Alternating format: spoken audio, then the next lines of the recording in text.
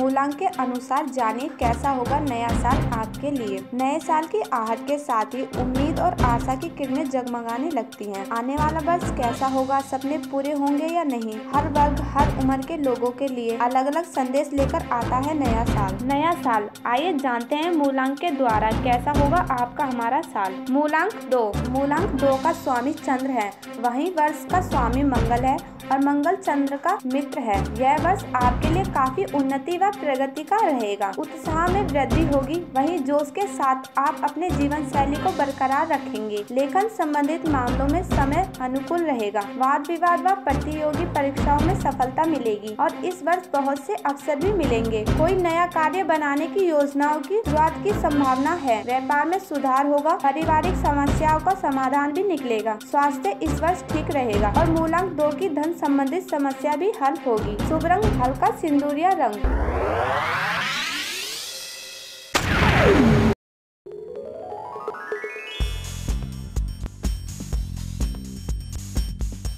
はい。